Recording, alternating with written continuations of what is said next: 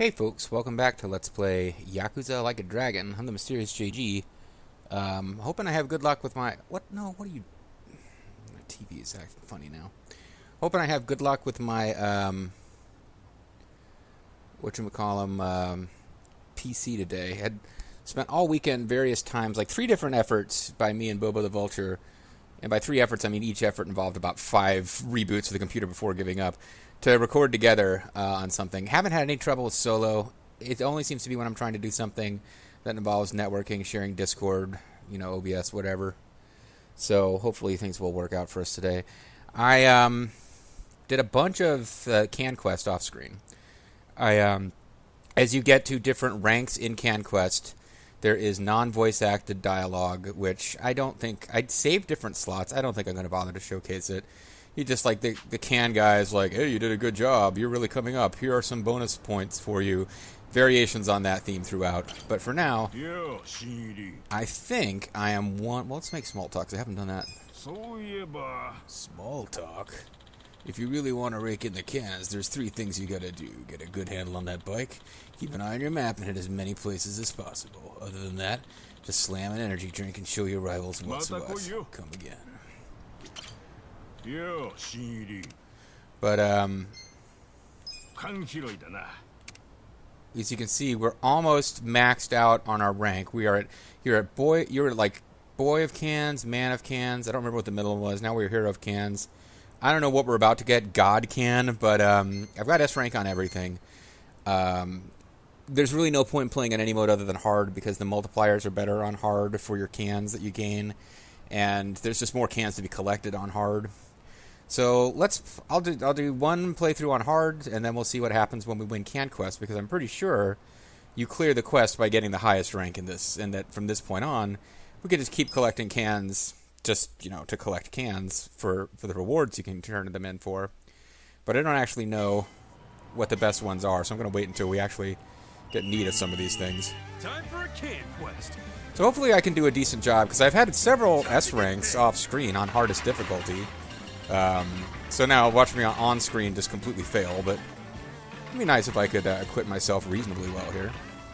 There's a couple of key things. You always need to have a blue guy on hand because uh, that is what allows you to um, hit other drivers and take their cans rather than having them take cans from you.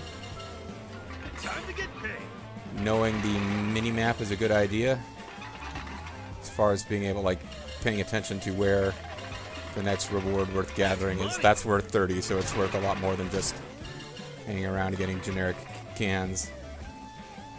Actually, not having a particularly exciting run here. But um, hitting the other drivers is a really good thing. You get cans, and uh, they get cleared out temporarily. That's money. So we got somebody coming right now. He's trying to get us. We're going to try to get him. I actually totally messed that up. Yeah, I completely messed that up. That sucked, actually. So I'm not having a good run compared to, like, some of what I was doing off screen, honestly. I would be farther along in the can count than this, so we might not get S rank.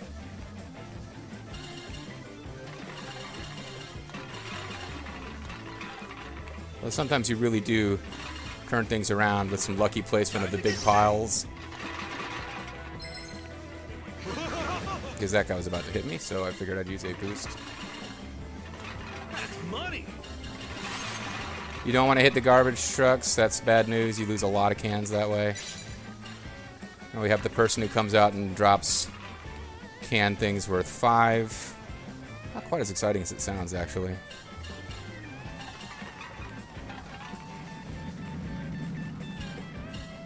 But if we come go along where she was, you can get some bigger stacks of cans. That guy. I, I, I like to hit the turbo boost when there's like two or three of those guys around and hit, hit several with one boost. You can get a lot of cans that way. But the main thing is to avoid uh, hitting things and crashing out and losing your cans, obviously. Sometimes it's a good idea to use a boost just because you have another boost that you're gonna immediately going to get, so why not use the one you have?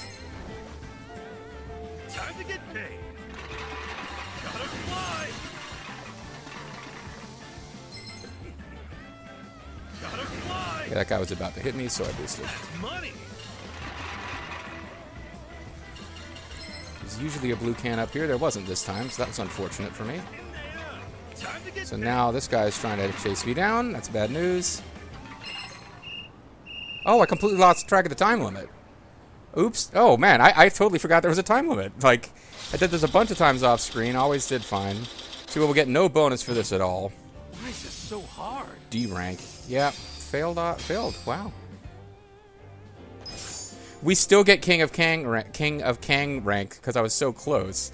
But yeah, I, I got an S rank off screen plenty of times, and then I just I completely didn't register when they said 30 seconds left that I should be heading back to the start point. So that's the worst possible finish is not getting back on time. You just get whatever cans you had with no multiplier bonus. But got some great news for you. Despite you being terrible, what? Kasuga, you've been crowned the king of cans. Huh? I have my own set of can collector ranks, and you just rose to the very top. You gonna give it all that we got. All my dragons keep rising to the top. Oh, what? That's right. Something good happens when you become the Don. Something good happened when you become the Don. I'll sell you stuff from my shop's hidden menu. No way. Awesome. Wait, hold up. That's just a nice way of saying you're gonna profit off me some more. you got me. Well, all right there, wise guy. Here's your final login bonus. Use this to shop around. These login bonuses he described, uh, that's when your last login bonus. Honestly, it's kind of sad. But just because you won't be getting more bonuses doesn't mean you got to stop collecting cans. That just won't do. No good, huh? I'll keep you working hard, and before long, you'll have brought everything at my shop. Oh, wow. I get it. I get it. I'll keep coming back. Counts on. Sure thing. Yep. So these login bonuses he mentioned again, non-voice acted off sc- uh, dialogue that I saw off screen. I forgot to start my timer. I'm really disorganized this morning. Um, but the uh, so let me see how many minutes are we in? Seven minutes in. Oh no, I did start my. I'm, I'm losing my mind here. I started my timer and then something popped up over my timer and made me think I hadn't started it. But yeah, off screen, uh, I would get little dialogues like that where he would say things. I, I thought there might have been more to it when you when you won the full on quest, which is why I s- started recording now instead of just finishing the quest off screen and getting the master rank. But apparently not. But yeah, similar little dialogues like, "Oh, you've gotten better. Here is a login bonus. What's a login bonus? Well, that just basically means a bonus I'm going to give you for advancing a can rank." So these are one-time bonuses. Like from now on, I just get whatever cans I've earned. I don't get little bonus amounts from him. But yeah, How you feeling today? Well, let's uh, let's shop. So we have almost 250,000 uh, can points, and these things are not ranked by how expensive they are. But honestly, even at this rank, there's well, they're yeah, elegant pouch. Um, makes normal attacks do deal magic damage. Recover MP with normal attacks. Vintage guitar. Imitation bag. So this is what you're really supposed to be saving up for. Is um, like this is high end gear for a job for one of the female characters that we don't have any of them yet. There's only two female characters. One of them is a main story character. The other one, I guess, you get through side quests, and she's optional. But um, this would be like a high end piece of gear for one of them to use. Um, and I don't think this was available before. I think these only pop up as things we can buy once we finish this the quest. But that's kind of what we're supposed to do, I guess, is buy um, buy gear and um, something I read said you should be buying tissues. Um, I don't really get it. Pocket tissues. Like, I guess you need these for something later in the game. I don't know what. Uh, somebody said, "Oh, you should use you should use these points to buy a cockroach because you need that for crafting." So maybe that would make sense. Why do they have like? Why have they got the the cockroach all pixely? I don't know.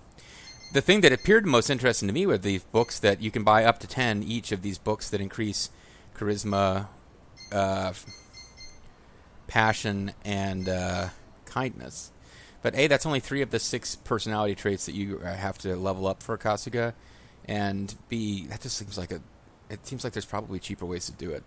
So, what I want to do is save my game in case we decide we made a terrible mistake. And I can always come back and grind for more cans later, but I want to save the game. What kind of gear have we actually got already? He's both of them are equipped with like nothing. So I would think just buying whatever gear they can equip, two of each, would be better than having nothing. So purchase dirty tengu. Again, I don't even know. That's okay. That's a helmet. That's also a helmet. That's a shirt. That's a shirt. So there's no point in buying all of this. This is for a job we don't have yet. These guys can both equip worn out leather shoes or scruffed sandals, which is better.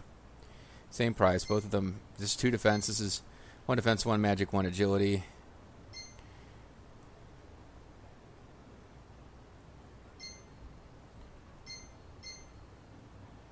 These are probably better.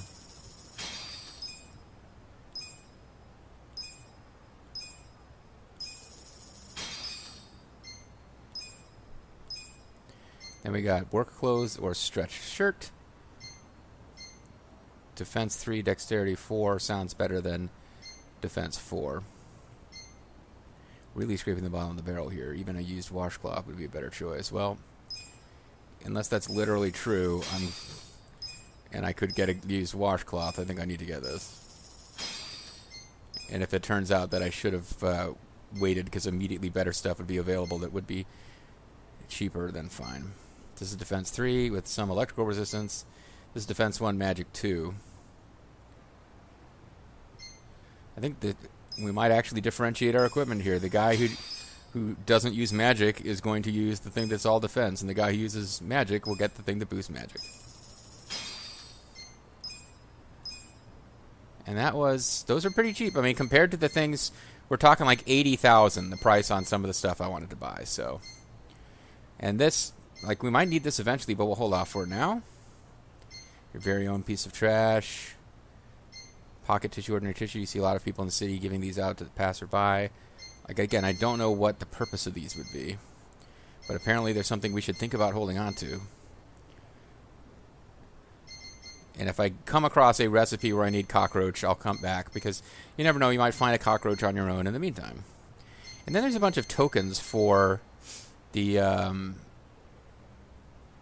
pachinko slots. I can't, I don't know why you would grind for points to use a one-use token.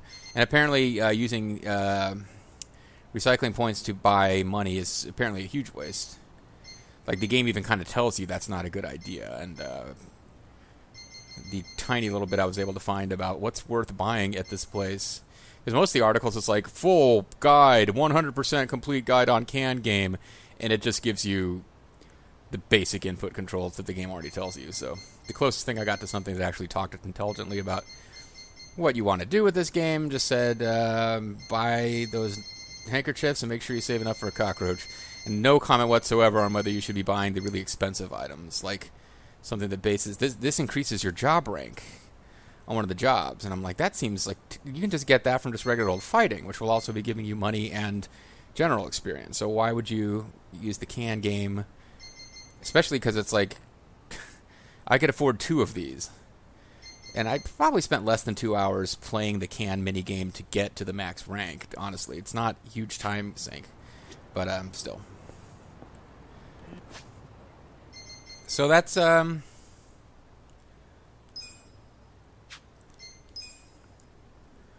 Just um. Having that tiny bit of gear. Just feel a little bit less um. A little less naked. Matter of fact, we don't get accessories, but we've got everything else. Like I didn't realize what you get. You get to wear something on your head, something on your chest, and something on your shoes. I guess pants are. I guess pants are just kind of you know counted as being with your shirt somehow. Oh, hold on. Do I have stuff I could be equipping here? Mysterious Misanga bracelet will help the wearer stay conscious through any impact. Oh, I guess this is. I guess I didn't realize I had stuff from um, from the DLC or from from getting the day one edition. I've got things I could be equipping. All right. Um, so we can be immune to stun, immune to heat, immune to rage. Greatly decreases MP cost of skills. That would be a good thing for our mage. Sacrifice Oma, knocked out HP recovers, and this item breaks. Okay, we don't really want to use those because they're kind of non-returnable. So let's give. Um, let's make him resistant to rage because I feel like that's actually happened. And then uh, heat. Sure, and we'll make you have lower MP cost, and uh, you'll be immune to stun. And there you go. Now everyone's got something for everything because the accessories just came from the day the the Day Ichi Edition, I guess, that I got. Otherwise, pretty normal. All right. Now the story wants us to go to Hello Work. Hello Work, my old friend. Your busy day is at an end. I Guess we could beat some dudes up on our way to Hello Work. Fighting enemy homeless. Battle bum. Pitiful look. Gnarly breath. Watch this. Have fun with this.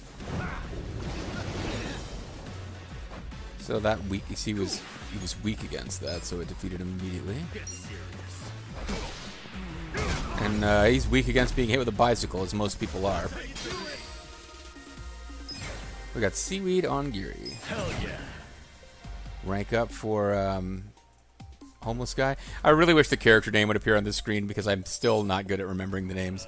I've got uh, I've got Ichiban Kasuga down, and I guess uh, the reason I kept hearing him saying um, uh, Aniki is because that means superior. Like I, I didn't know that. I wasn't I wasn't joking around. I'm not a Japanese culture geek.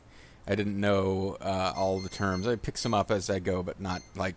So yeah, I, I thought there was like a character whose name was freaking Aniki because Aniki is a name in other parts of the world. It's a person's name. It's a woman's name in Scandinavia, but it's a name. So, um, Nanba. Does he have like a full name or is he just Nanba? I don't know. What else we got on our smartphone? We got new miscellaneous tips. Party chat. You can listen in on short conversations that happen among your party members around the city. Listen till the end, and you'll strengthen the bond between you and your party members. Interrupting these conversations by opening menus or triggering a battle will not only force everyone to stop talking, but it's also just plain rude. If you speak to Iro- Iroha at Survive, you can listen to conversations you've already had. So I had one that popped up. Um, Kasuga will befriend many allies throughout this adventure. Up to three of them can join him around town in battle. Kasuga cannot be removed from the party's leader. You may choose who will accompany him by pressing party at the pause menu. Hey, taxi. Various park taxis allow you to travel around the city at warp speed. You can even do this via the pause menu. Be aware, however, that rides aren't free and convenience comes at a price. We need to get back to the homeless camp because there was a dialogue that started, and I was like, oh crap, I don't want to miss this dialogue. And then the game kind of told me it got interrupted by a battle. But the game then kind of told me, eh, don't worry about it. This will replay when you come back to the area. So I didn't worry about it, but I would have done otherwise. Somewhere in here, we should have gotten a dialogue about my tattoo. I guess we'll have another fight here first. But hungry, hungry, homeless. Okay. Watch this. Have fun with this.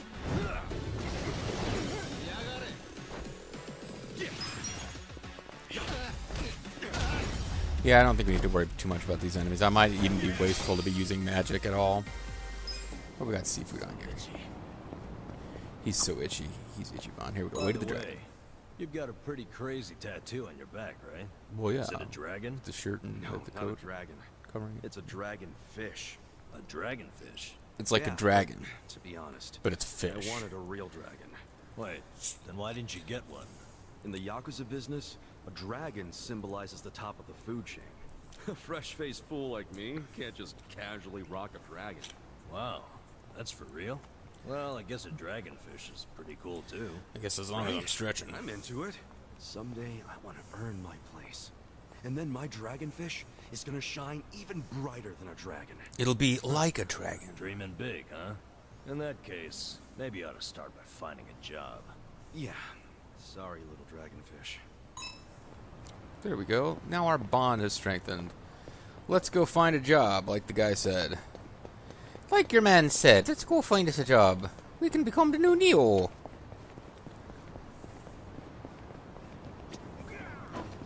Oh, hold on. There's treasure hunting to be done here. Hmm? We got a wood block. All right. We found some uh, tiny little cars. Found some enemies that I don't really feel like fighting, but I guess probably faster to fight them and get it out of the way than try to avoid them.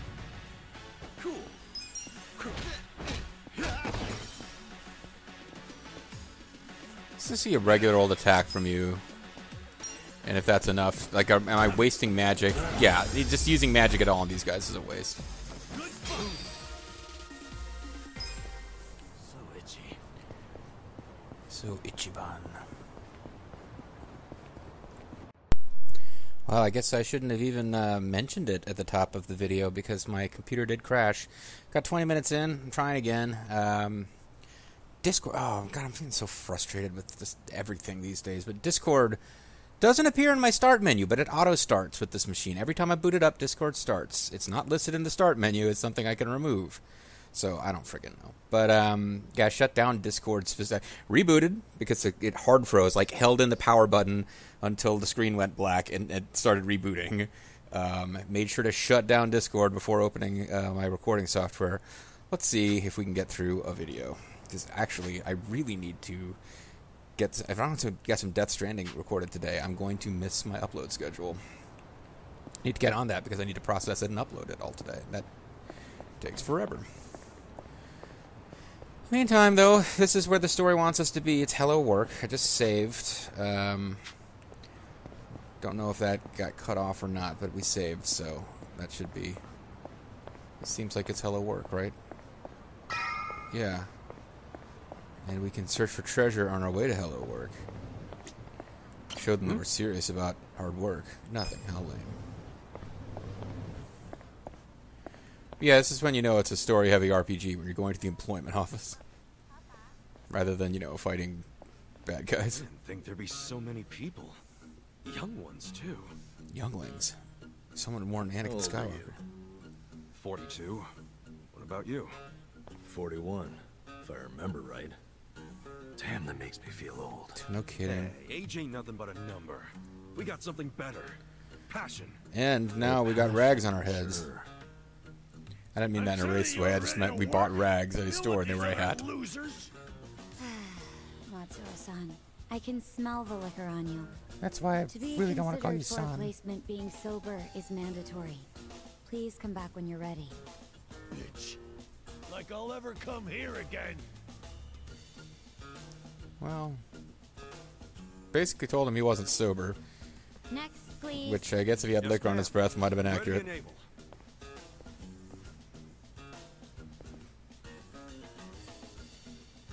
You left your current residence blank. Because I don't have one right now. But I'm committed to working. And I don't drink, by the way. Just because of my antibiotics. Well, antibiotics. normally you need an address, but I think we can make an exception. Oh, don't don't establish you So, can do that. I'm He's hired? going to ask for it a lot. Just write the address of where you grew up.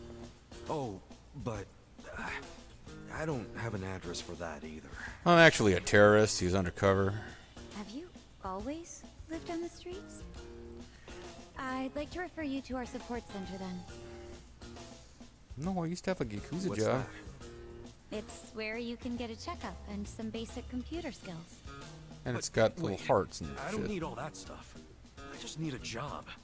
Sorry, but that's our policy for people with a background like yours. You don't know my background. I just I work really hard. she just told him that he didn't have an address. That's our policy, sir. Next, please. Wait, hold on. He pretty much got ramroded there. Out of the way. Like he didn't. Well, he didn't explain why he didn't have a childhood address to provide. That messed him up. You got to be real careful on the. No, I'm, I'm in government. you got to be careful. Did your passion Like, I'm not trying to like hammer on all government, but I've I've as someone in government who has to work with government HR, like you gotta make sure that you don't let them take the first word you say and decide what they're going to do with you and stop listening to you. You have to like you know. Ugh. I tell you nightmare stories about when I came out of the hospital and was trying to catch up on all the all the medical stuff. I'm not even going to tell you a story that I I want to tell because it involves things that are like biologically unpleasant. But like I'm usually pretty chill, and I was on this, I was on the phone in a public place screaming, "Are you fucking kidding me?" At, at some of these medical people because like they you know they ask you, "Have you ever been here? Have you ever been here before?" And physically, and I said, "Well, not physically to that site, no." Oh, I, I guess I gotta I gotta tell you, like you know, I was in the hospital, I had a catheter installed. It was part of you know safety and stuff in the procedure. Like my systems were shut down. They they installed a catheter and it had to come out when I didn't need it anymore. And like the office that put it in, their fucking admin support staff were like, well, you know. we can we can schedule you for something in like three months. And I was like, what the fuck are you talking about? And they said, well, you said you're a new patient. You said you've never been here before, so you're a new patient, and we don't start taking. We don't have any openings for new patients, but we might be able to see you in July. And this was in like uh, March, and I. but that's the thing. I I they, I answered their question like, "Have you ever been here before?" No, and then they filled in all this shit. Like, okay, now we they filled everything in about who you are based on how you answer one question, and you have to stop them and actually explain what's going on or you're fucked. They, they were like, he's never been here before. He's a new patient. We aren't taking any new patients until July. Schedule him to come back in July to have a catheter removed. He'll have this catheter in then for March, April, May, June, July. He'll have it in for like five or six months. And every day it's in, he risks getting an infection. Like my doctors are telling me, get that thing out. The longer it's in you, the more chance you'll have of getting an infection. But no, the admin person on the phone is just like, check the box. Okay, they're a new patient because they said they hadn't been here before. So that automatically makes them five months out. No thinking whatsoever. so I feel his pain here because she asked him if he had a childhood address. And he said, well, not really. And then before he could say anything, she just decided he's always been homeless. He fits in this category. You have to stop those people. That's a real thing. I didn't mean to go off on this tangent but that kind of pressed a button for me. I, I just remember being in the hospital. I'd gone I'd gone to the local hospital to have them. They had to. I mean, I, I shouldn't be telling stories about this, but they, they had to do they had to do a test. I had a catheter installed because I was in because I had an operation, and I had to go someplace. They weren't going to. They they the people who put it in, the urology office that put it in, wouldn't take it out until I had a test done somewhere else. Somebody else had to do the test. It took me like a lot of arguing with them on the phone because they were not giving me information on how to get this test done. Like, they were like, "Well, you can research that yourself, sir." I was like, "Can you fucking tell me where I need to go get this test done?" But the test that had to get done is I had to go somewhere, and they test to make sure that you don't have um, structural damage in your bladder, no leakage. They have to they have to test that out before they pull the catheter back out of you because if you have structural damage in the bladder and they pull out the catheter, then you start having real problems because you start having uh, urine, which is basically toxic um, because it's full of chemicals that you don't want in your body. That's the point. Suddenly starts leaking into your organs. So if you have a catheter put in for an operation, they're not going to take it out until they've tested to make sure that you don't have leakage that could cause problems. But like the office, like it wasn't their job to tell me where to have it done, so they were just being super unhelpful about that. And finally, you know, I, I had like 20 minutes of calling and getting redirected and find some place that did it. Went in, had it done. Asked them, "Can you take this thing out?" And they said, "Well, we have the capability to do that, but um, you know, from an insurance standpoint, no, we're not going to remove it. You have to have it removed by the people who did it. If we removed it, uh, you know, we could be anything. Anything goes wrong, like there'd be huge legal mess. If they remove it, they put it in. You could sue them." They would have insurance, blah blah blah. So why am I still telling this story? The point is, I'm in a hospital where I just had proved I'd, I'd spent like every day on the phone with the urology office, finding out what they wanted me to do, and being told that once you get this done, we can you can have it removed immediately. You know, maybe even the same day if you get it. If you get that test in the morning, it's even possible. No promises, sir. Even possible that same afternoon uh, of the day where you had the test done in the morning, we might be able to schedule you to have the thing out. So I'm calling them saying, "Hey, I've had this test. I've already talked to like three different people. they told me I can have this thing out. I'm hoping for today. If not today, can we schedule for tomorrow?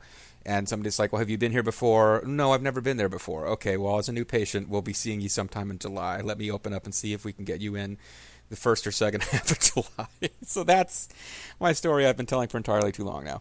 Hopefully, this didn't crash uh, because I can only tell when it crashes because of the sound, and I've had it muted, paused rather. Uh, failed to record. There's not enough disk space. Oh fuck me! Everything is going to hell. I'm going to stop this video when we come back next time, hopefully we still have a Let's Play going. But I did get my uh, catheter removed, and I didn't have to keep it in for five months. It just involved me in a public place screaming into my phone with women and children staring at me. Are you fucking kidding me? Are you out of your goddamn minds? You're out of your goddamn minds if you keep watching this train wreck Let's Play, but uh, hopefully you will. See you next time.